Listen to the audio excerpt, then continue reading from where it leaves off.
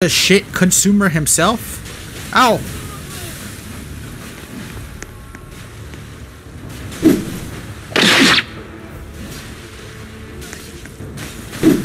Bye bye, shit consumer. The fecal devourer. The poop lead.